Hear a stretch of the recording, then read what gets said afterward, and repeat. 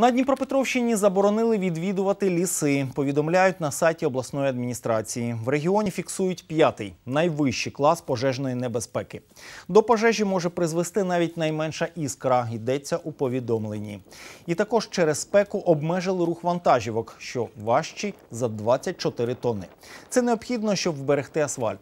Обмеження діють з 8 ранку до 23 вечора, коли температура повітря перевищує 28 градусів за Цельсієм. За дотриманням заборон слідкуватимуть лісники, рятувальники та поліцейські.